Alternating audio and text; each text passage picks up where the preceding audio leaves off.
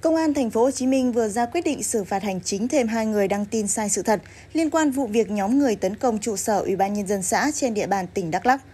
Cụ thể, qua công tác nắm tình hình và triển khai các biện pháp nghiệp vụ, Công an thành phố Hồ Chí Minh tiếp tục phát hiện hai tài khoản Facebook có hành vi đăng tải nội dung sai sự thật.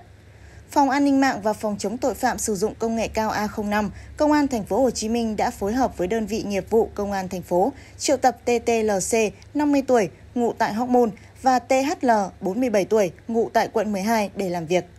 Tại cơ quan công an, C và L đã tỏ ra hối lỗi, đồng thời tự nguyện gỡ bỏ những bài viết vi phạm và cam kết không tái phạm. Công an thành phố Hồ Chí Minh đã ra quyết định xử phạt hành chính TTLC và THL mỗi người 7,5 triệu đồng. Trước đó, cơ quan công an đã triệu tập NAHD, 56 tuổi, ngụ tại huyện Bình Chánh vì có hành vi đăng thông tin sai sự thật về vụ tấn công tại Đắk Lắk. Căn cứ theo mức độ vi phạm, cơ quan công an đã quyết định xử phạt hành chính D với số tiền 7,5 triệu đồng và buộc gỡ bỏ thông tin có nội dung vi phạm đã đăng tải.